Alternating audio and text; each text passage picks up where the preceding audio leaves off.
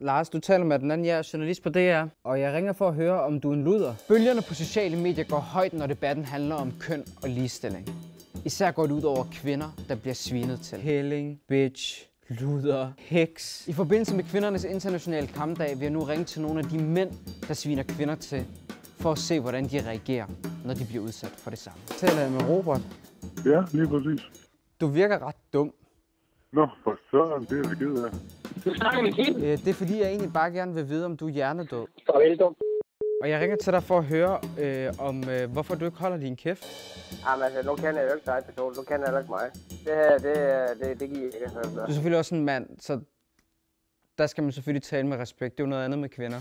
Du har skrevet en kommentar om øh, Sara Bros bryster. Ja, men det er sgu ikke noget, jeg har skrevet. Du hedder ikke Helge. Jo, det gør det.